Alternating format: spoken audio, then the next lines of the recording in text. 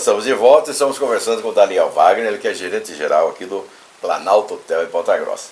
E no bloco anterior nós comentávamos aí sobre é, o trabalho é, que o hotel vem desenvolvendo aqui na, na cidade, né? E os prêmios que ele é, vem conquistando, graças evidentemente a esse trabalho.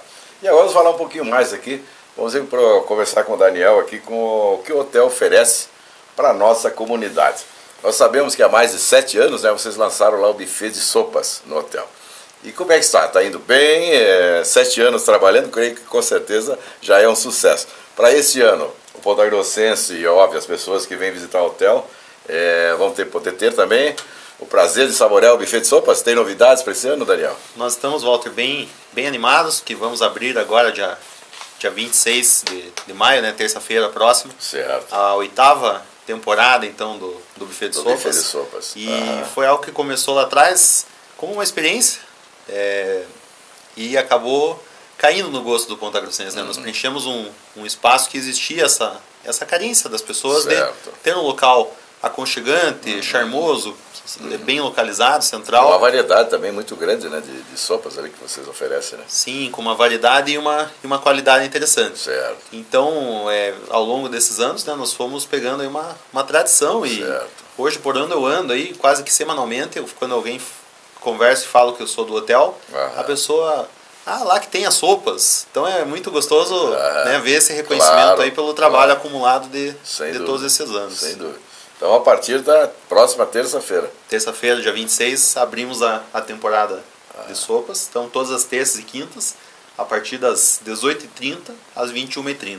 Então, Ótimo. Bem- então, olha, bem todos contentes. estão, estão convidados aí, né? Quem, quem já conhece, né, vai retornar certamente, e quem não conhece vai lá provar. Realmente, eu já estive lá, é uma delícia, né? e quero só destacar que Aham. foi o que tomou proporções eh, diferentes para nós é que nós passamos a servir bem o próprio morador da cidade, da região. Que a Certo. princípio não teria por que se hospedar no hotel. Perfeito. Mas daí Aham. ele pode vir jantar no buffet de sopas e Sim. interage conosco, com o nosso serviço, conhece a nossa estrutura. Então isso é uma questão bem interessante. Sem dúvida. É, se faz com que justamente as pessoas moradoras aqui, né, que como se disse, não tem a necessidade vai, de hospedar-se, né? Normalmente, né, pode até vir a ocorrer necessidade, mas tem essa possibilidade de, de conhecer o serviço do hotel e saborear realmente, que é uma, é uma delícia realmente. viu? Você já provou, né, com certeza. Com certeza. Brincadeira. Me diga uma coisa, é, Daniel, vamos falar um pouquinho agora do nosso turismo aqui, da, da nossa cidade, da nossa região. Como é que você, como, como é, fazendo parte do conselho né, do, do, do Parque Estadual de Vila Velha, é, como, como você vê hoje o parque? Ele, é, o que foi feito, o que foi desenvolvido, os planejamentos, eles estão funcionando realmente? Como é que está a situação do nosso parque hoje, Daniel? O parque hoje está sendo gerido pela Paraná Projetos, que é um, um serviço social autônomo dentro do governo do estado. Perfeito. E o governo está tendo, infelizmente, algumas dificuldades aí de né, Caixa, financeiras, de aham. Caixa. Isso está dificultando um pouco os trabalhos, mas a gente tem uma esperança de que em breve possa ser criada uma parceria público-privada, algo como acontece lá em Foz do Iguaçu, Perfeito. e uma empresa realmente possa, ou um consórcio de empresas, assumir o parque e gerenciar completamente. Seria, seria fantástico, realmente. Seria né? fantástico porque teria dinamismo para tomar decisões, Claro, né, várias, várias questões. Mas assim, o parque ele tem tido uma média de 60 mil visitantes por ano. Uhum. É bom ou é ruim isso?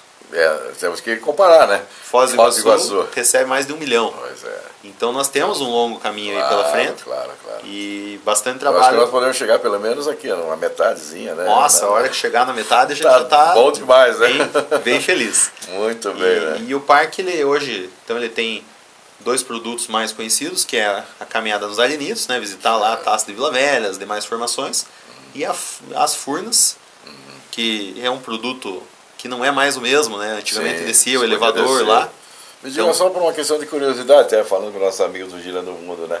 Não existe possibilidade de voltar a funcionar aquele elevador? Qual, o que, que impede na Aquele realidade? elevador tem problemas de segurança, segundo Certo, mas vamos dizer mesmo que acerte, o, acerte e- esse problema. E de desgaste do arenito, então é, Ah, é, é pessoal- difícil- dificilmente vai voltar a funcionar. dificilmente.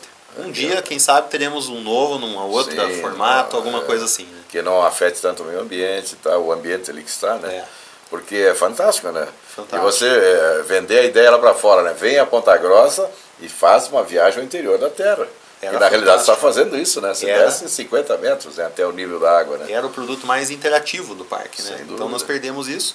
E a Lagoa Dourada, que é um produto mais contemplativo. Então são os produtos tradicionais. Perfeito. Agora, nos últimos três anos para cá, foram criados o produto Caminhada Noturna e Trilha da Fortaleza. Certo. E como é que tão- tão- a comunidade está aceitando bem, está participando? Está participando. Uhum. A caminhada noturna ela acontece de uma a duas vezes por mês, uma na lua cheia, Certo. que é para o pessoal realmente ver as formações rochosas, e uma na lua nova, onde o pessoal vê mais os astros. Assim. Certo, então são, são Ah. Uhum. produtos interessantes. E a trilha da Fortaleza, que é uma trilha de cerca de 15 quilômetros, para quem quer daí Uma realmente trilha dar uma né? caminhada ali, Pra leva umas, testar. umas 4 horas para É. fazer. Então é um produto E a, diferenciado. e a trilha acontece em que, que dias? A ela, Fortaleza? ela acontece mediante agendamento. Ah, Então, tá. Uhum. Então, se forma um grupo, você pode fazer a trilha. Isso. Aí o, a direção do parque dá a estrutura. da a estrutura, pessoa dá um guia lá, acompanha, segurança. né? Então, Ótimo, assim que então, funciona. Faz o contato. E saindo um pouco aqui da nossa, do Parque de Vila Velha, continuando a nossa região aqui, a região de Itaiacó, que é uma região que eu acho que vai estourar aí para o nosso turismo rural, principalmente, né? Já está desenvolvendo muito. E eu fiquei satisfeito também de saber que ali o Buraco do Padre, que é uma dos, das principais atrações turísticas da região, parece que está caminhando para uma profissionalização. Se, é- se seria esse o termo, né? Sim, nós estamos bastante animados com isso. Desde que eu comecei no turismo, Ah. né, a gente falava, e o Buraco do Padre, ah, tem potencial, é um lugar né, distinto, especial.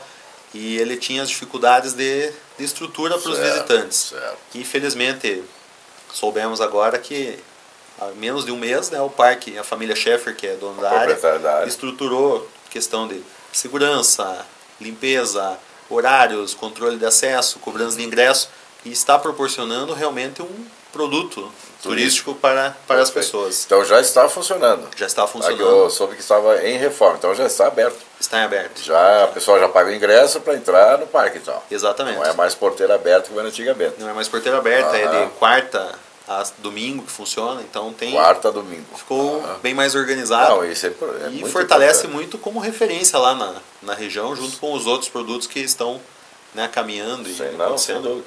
Eu acho que essa, essa região aqui realmente é uma região que tem tudo para se desenvolver. E já está né, num processo muito em bons restaurantes. Lá o caso da, da Porto Brasil, que é uma referência, tem um café colonial ao lado ali também. Sim. Muito interessante, né? E a própria comunidade, se nota que eles estão felizes né, com isso. O pessoal vai muito de, de bike, vão, vão- é, a parte esporte e a motor também está acontecendo muito lá. É, nós eh, estamos sempre cobrindo ali esses ralis que acontecem, né? Aliás, Ponta Grossa vem se destacando, né? Nessa área também, né? Pela própria geografia da cidade, né? E eh, o apoio, né? Que a própria administração dá a esse tipo de evento. Eu acho que tudo é muito importante realmente para o desenvolvimento, né, Daniel? É um momento importante do turismo, porque nós temos hoje então um convention bureau funcionando já com Certo. uma maturidade de 10 anos e temos hoje a Fundação Municipal do Turismo, que é um órgão que 100% do tempo as pessoas estão lá pensando em turismo, Em diferente turismo. de outras épocas Que era um departamento. era turi- cultura e turismo, indústria, comércio e turismo, é. então fica realmente É, é, focado. não, isso é muito, muito importante. Sempre comento aqui no nosso programa, assim, que a gente tem a oportunidade, que há de se louvar realmente a administração atual, né? Que está pensando no turismo. A prova disso é a criação da, da fundação, né, Daniel? Então, porque é, realmente é, a administração que, que, que pensar em entender o turismo com seriedade tem muito a ganhar, né? Porque a cidade como um todo ganha né, com o desenvolvimento do turismo. Nós precisamos ver o turismo, pessoal, como um fator de desenvolvimento socioeconômico para nós. Porque quando Perfeito. vem pessoas de fora aqui, sejam elas a passeio, a trabalho, participar de algum evento, elas gastam na nossa cidade um dinheiro que foi ganho lá fora, nas cidades delas, onde elas moram. E isso então aumenta a renda das pessoas, das empresas, gera mais empregos e né, fortalece muito a nossa economia. Não, é, não é só o trade, né? Que a pessoa pensa, não, o turismo vai ajudar o dono do hotel, né? o dono do restaurante, o taxista, mas não, é a cidade como um todo, né? Toda a comunidade.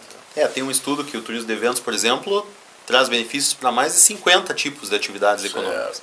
E se certo. pegar o caso do nosso hotel, por exemplo, eu brinco que a gente arrecada e daí distribui, porque distribui para nossa mão de obra, para o nosso Claro. fornecedor de frutas, de Claro. carnes, de produtos de limpeza. Então é toda uma cadeia de fornecedores, de prestadores de serviço, Perfeito. que a partir da atividade do hotel sendo bem aquecida, acontecer bem, Eles eles também, também estão vão ganhando. estar ganhando bem. E não estão lá na ponta, direto ligado com o turista que chega no teu hotel. Exatamente. Mas estão ganhando com isso, né? Perfeito. Então é fácil de, de, de entender realmente a importância, né? Que tem o desenvolvimento turismo na cidade. E a nossa cidade tem tudo para isso, né, Daniel? Nós temos belezas naturais aqui fantásticas, realmente. Né?